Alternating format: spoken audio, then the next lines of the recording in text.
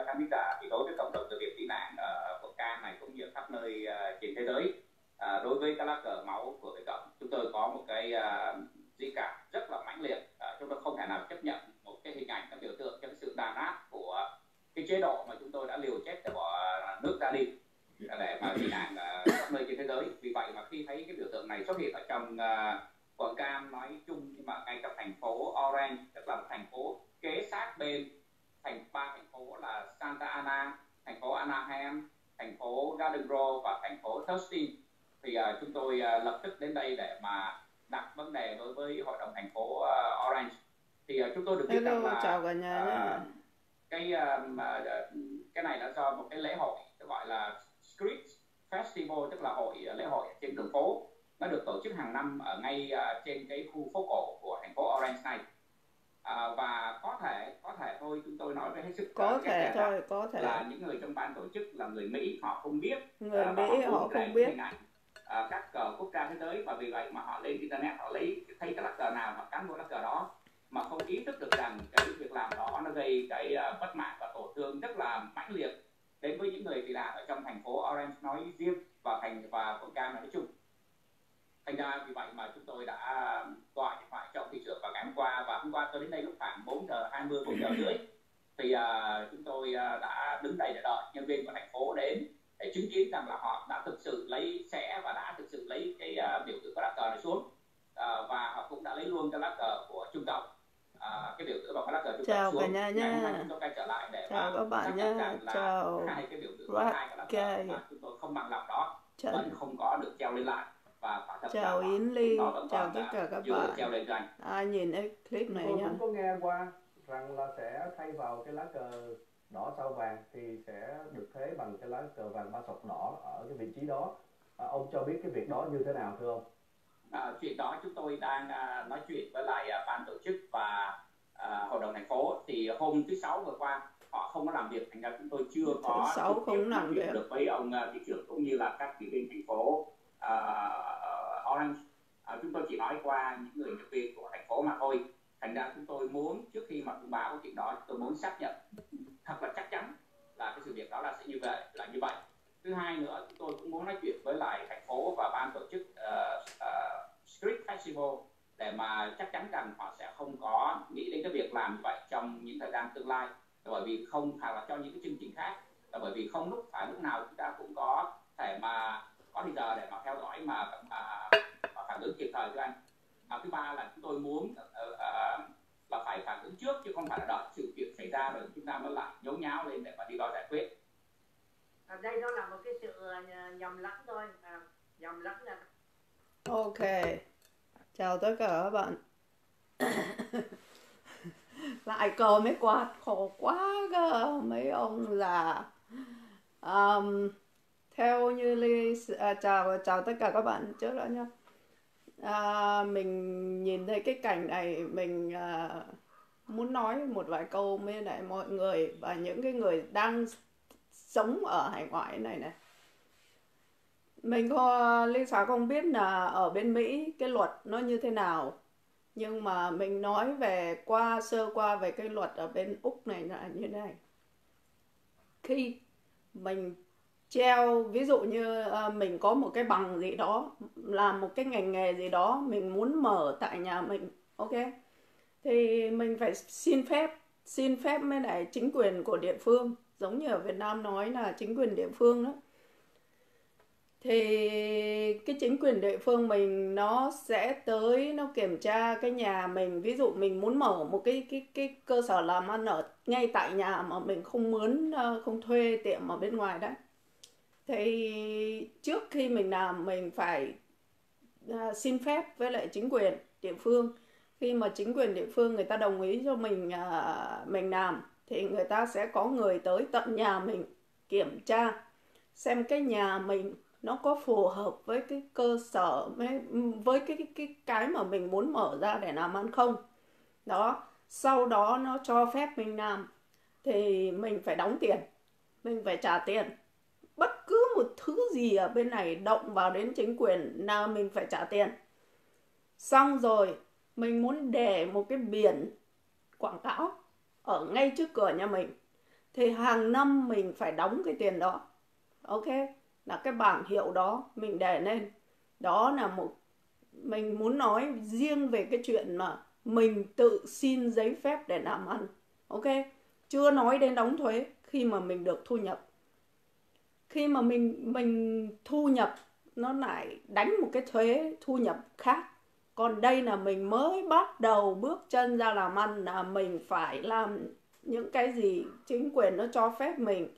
Tại nhà mình, nó đến nó kiểm tra xem có hợp lý không.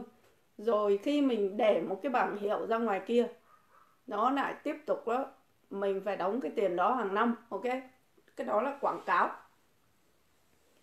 Thì theo như trong này Lisa à, mình có xem ở trong cái cái clip này.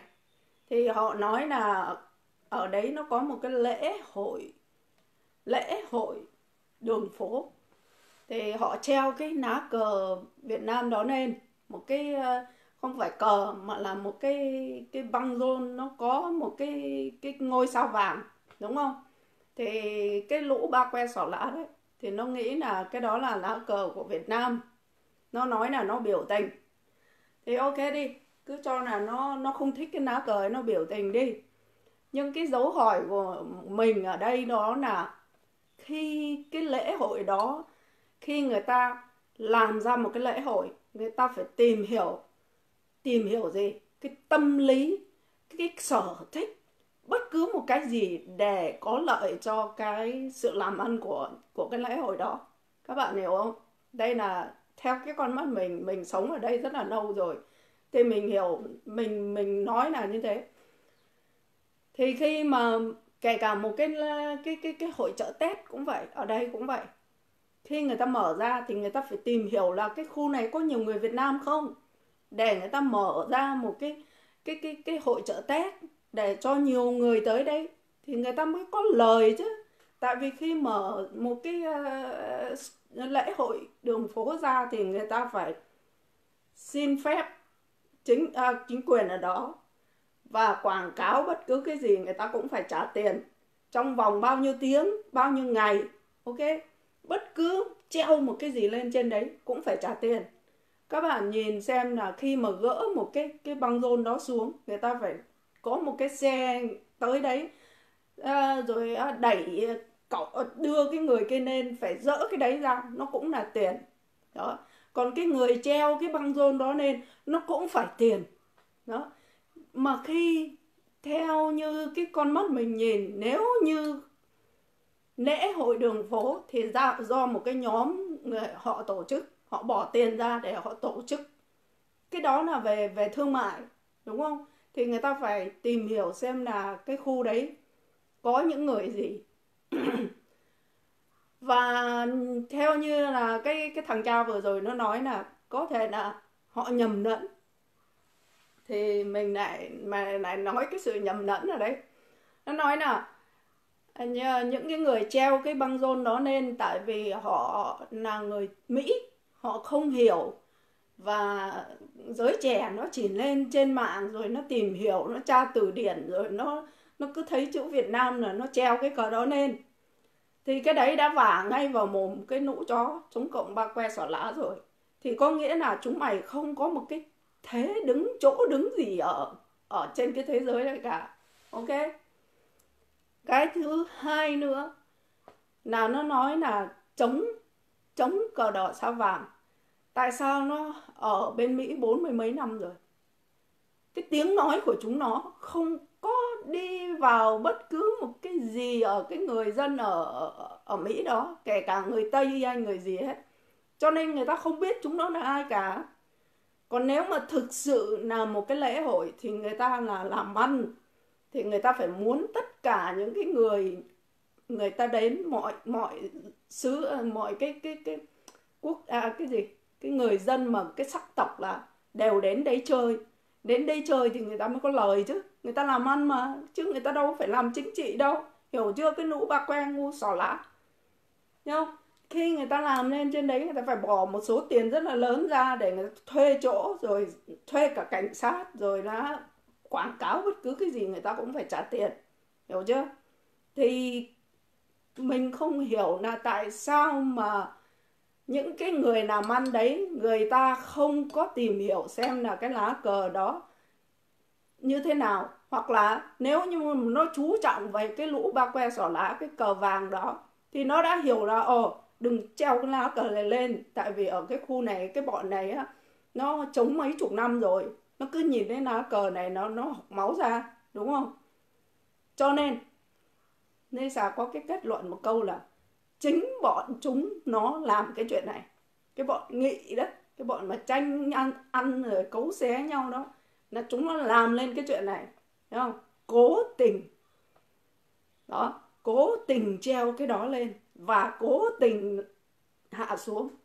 Có nghĩa là ô tôi tôi muốn treo cái não cờ này lên trong vòng mấy ngày rồi đó, trả bao nhiêu tiền, bao nhiêu tiền. Xong rồi đến cái giờ đấy hạ xuống thì nó dình đúng lên cái giờ đấy chúng nó ra đó, chúng nó biểu diễn một cái màn kịch. Là tự chúng nó tự biên tự diễn thôi. Chứ còn tự nhiên treo một cái, ok, cứ cho là người ta, đó là theo mình nghĩ là chính chúng nó tự biên tự diễn. Còn nếu thực sự mà những cái người Mỹ, người ta không hiểu là cái bọn cờ ba que nó phản đối như thế, thì bốn mươi mấy năm chúng nó chống cộng ở Việt Nam, nó được cái gì? Không có một cái gì trong cái cái đầu óc của những cái người làm ăn ở ở bên đất Mỹ đây. Họ phải hiểu rằng là ồ cái bọn này là cái bọn nó chuyên môn nó chống cái cờ này. Nó mà nhìn thấy cái cờ này nó sẽ đến nó biểu tình. Chứng tỏ là không ai biết gì hết. Chúng nó chỉ đóng cửa chúng nó ở trong chúng nó tự sướng với nhau thôi. Đó. Còn á, theo như mình nhìn á, thì là chính chúng nó tự biên tự diễn lên. Trong cái cái, cái bọn nghị vừa rồi đấu đá nhau loạn xì ngầu đấy có đứa nó làm như vậy để nó lấy nó ra nó, nó đứng đó. Ồ tôi tôi tôi muốn treo. Tôi nghĩ là tôi treo cái này lên hay nó tự cho nó cho ý kiến để cho người ta treo cái đó cái cái cái băng rôn đó lên. Xong rồi á treo bao nhiêu ngày bao nhiêu ngày hay là như thế nào đấy. Xong nó lại tự ra nó hạ xuống. Hiểu không? Tôi chỉ được phép treo trong cái vòng cái cái cái, cái treo trong vòng thời gian này thôi. Đó còn nếu mà thực sự mà mà người ta không hiểu, người ta không biết thì chứng tỏ là chúng nó không có chỗ đứng ở ở Mỹ nữa. Người Mỹ người ta đâu có hiểu, người ta đâu biết cờ chúng nó là cái cờ gì đâu. Đúng không?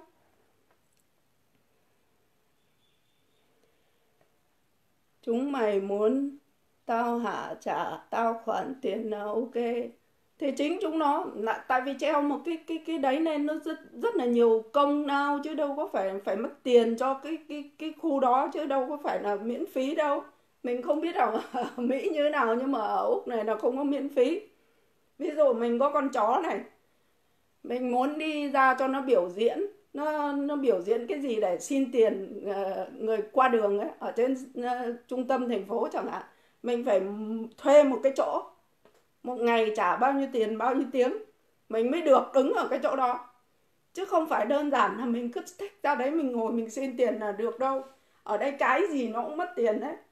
Tự nhiên á mình ngay cửa mình thôi. Tự nhiên mình đi ra mình bắt ngang một cái băng rôn qua bên nhà bên kia. Có được không? Hiểu không? Cho nên là những cái cái cái lũ ba que đó, nó sống ở bên hải ngoại mà nó chả biết cái gì chả hiểu cái gì theo mình nhìn ấy, với cái cái mình nhìn là chính tự chúng nó làm lên. Chúng nó làm cái trò lên. Chứ còn người thực tế ra người Việt Nam người ta đưa cái băng rôn đó lên. Ok ai là người đưa cái băng rôn đó lên? Đúng không? Với cái với cái cái cái cái mục đích gì? Đúng không? Cho là lễ hội thể, lễ hội của của đường phố đi thế cái người mà người ta tổ chức cái đấy, người ta bỏ tiền ra để làm gì? Người ta là muốn khách nhiều tới. Khách nhiều không lẽ người ta quảng cáo để cho khách Việt Nam sang đấy à không? người ta phải hiểu, người ta phải tìm hiểu tâm lý, người ta phải tìm hiểu xem cái khu đấy nó như thế nào, như thế nào người ta mới treo cái đấy lên. Chứ không có cái lý do do gì mà vô tình được. Bây giờ mình muốn mở một cái tiệm phở mình cũng phải tìm hiểu xem là cái người ở, ở cái khu đấy người ta có thích ăn phở không? Hay là người ta thường ăn cái gì? Người ta ăn mặn hay là ăn nhạt hay là ăn ngọt? Cái đó nó làm ăn. Luôn luôn người ta phải tìm hiểu bất cứ một cái nhất là những cái người người ta tổ chức những cái cái hội ờ, cái lễ hội này người ta phải hiểu người ta phải biết được cái khu đấy nó như thế nào. Người ta phải tìm hiểu từng tí một. Thế thì mới có lời được chứ. Mẹ chính cái bọn bọn bọn nghị á, có một đứa là nó nó tự biên, tự diễn nó làm ra cái trò như thế để nó lấy lòng cái bọn à, bọn chống cộng ấy, để lấy phiếu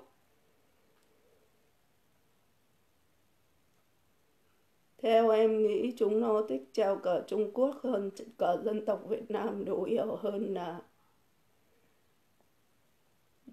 đô la nó mạnh.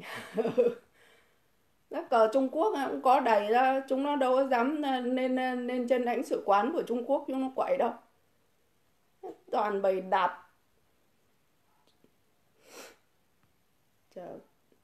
Tại vì ở đây cái gì cũng tiền hết treo cái gì bất cứ cái gì ở ngoài đường kia mà cái chỗ công cộng là phải tiền hơn nữa tại sao cái cờ ba que đi đâu cũng phải vác theo cái cờ mỹ đúng không nó đâu có cho vác một mình đâu. Bắt buộc nó phải vác hai lá cờ, khệ lệ mang đi như thế. Đúng không vậy mà ở trên cái đường phố đấy, nó đưa cái băng rôn chỉ có một cái cái cái ngôi sao đỏ thôi. Ờ, cờ của Việt Nam. Đâu có phải gắn thêm cái cờ Mỹ vào đó đâu. Đó là một cái bẽ mặt của chính chúng nó, tự chúng nó chúng nó đấu đấu tranh chống cộng, chống cờ, chống quạt hàng hàng bốn mươi mấy năm à, biểu tình ngày biểu tình đêm cái, cái cái ông Trần Trường đó. Tại sao đất Mỹ nó nó chả có cái nó nó chả hiểu gì về cái chuyện đấy cả? Trước tiên mình muốn làm một cái gì mình phải làm sao để cho cái người ở sống ở đó người ta hiểu là mình đang đấu tranh cái gì. Đây các bố các mẹ toàn nói tiếng Việt Nam thôi. Không? Chả có nói được nên cái câu tiếng Anh nào để cho người Mỹ người ta hiểu là chuyện gì xảy ra tại sao phải đấu tranh như thế. Tại vì chúng nó hiểu chúng nó cái cái bọn cầm đầu cái bọn lãnh đạo ấy, nó thừa hiểu đi là cái cái người Mỹ nó coi bọn đấy chẳng ra cái gì cả. Nói chung là như vậy. Alo?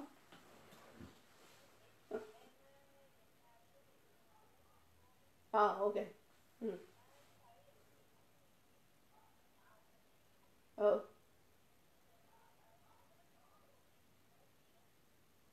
Ờ, hình như có. Muốn chị tẩy đi chị mua chiên rồi hay là chưa chiên? Ok. Ok. Ừ. Ừ, ừ, ừ.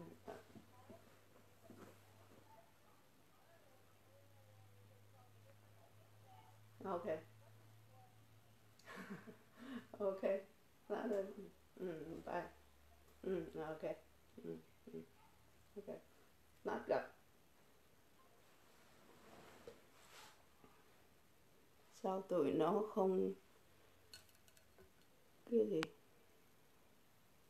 Sao tụi nó không cờ đánh chết làm sao bọn ba que giờ nó như gái ngồi phải cọc mà.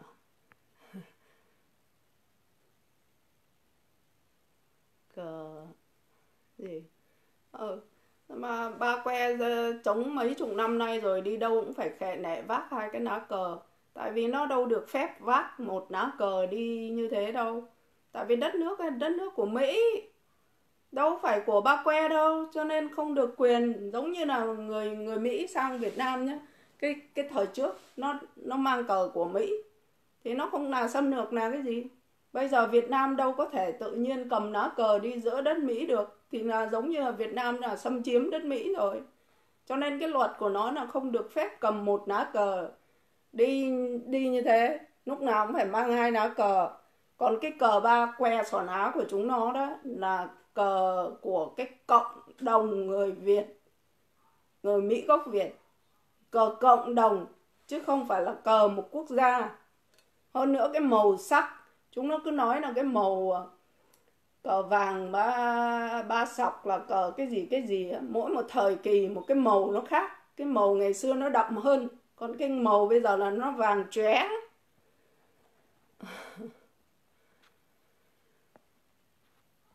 Suốt ngày cờ mới quạt khổ quá. Thế chứng tỏ bây giờ nó nên nó nói là những cái đây là không có cái cái gì về cái tổ chức nào về chống à, cái cái, cái gì à, cộng sản hay là cái gì mà là do những cái đứa trẻ rồi do cái hội người um, tổ chức cái lễ hội đó. Vậy thì tự chúng nó vào vào mồm chúng nó chứng tỏ là chúng nó sống bốn mươi mấy năm ở trên bên, bên đấy nó không có cái gì ảnh hưởng cho những cái giới trẻ hoặc, hoặc những cái người giới làm ăn buôn bán cả. Đúng không? Cho nên là thôi chúng mày ờ, khuyên cái bọn ba que sò đá ờ, câm mồm đi. Sống cho nó đàng hoàng đi chúng mày tự đấu đá nhau chúng mày tự là treo cái cờ lên xong lại tự hạ xuống. Đúng không? chứ không có cái lý do gì mà người người ta đi ra đó người ta người ta treo lên xong người ta lại hạ xuống cả. Tại vì khi mà mình muốn treo bất cứ một cái gì mình phải xin phép mình phải đóng tiền. Ok? Chứ không phải tự nhiên mà mình thích treo cái gì ra ngoài đường kia là mình treo đâu. Đơn giản vậy thôi. Cho nên là tìm hiểu xem ai là người trả tiền để treo những cái băng rôn đó lên, đúng không?